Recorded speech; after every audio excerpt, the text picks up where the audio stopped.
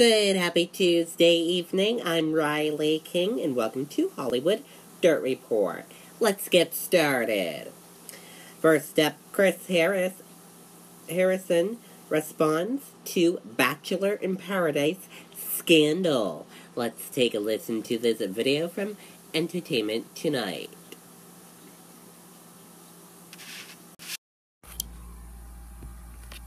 These beauty bloggers just tried Evos premium hair care. The results? Shocking. But what's even more shocking? it's Suave? You're lying. It's just super shiny. I mean, my mind is blown. With Suave, trying is believing. I'm gonna have to ask you to leave.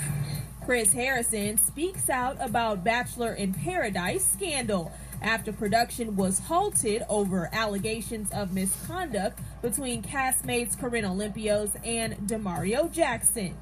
So I'm really gonna need you to get the f- out.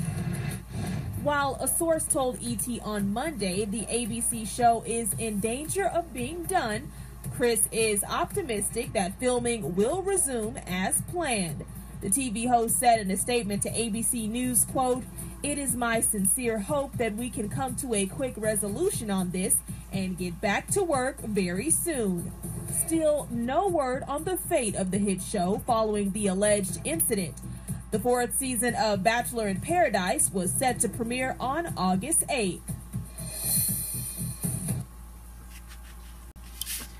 Okay, and there you go on that report.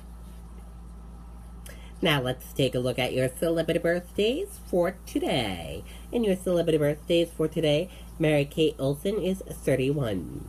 Chris Evans is 36. Melissa Gunnesoi is 49. Ashley Olsen is 31. Danielle Perkins is 17.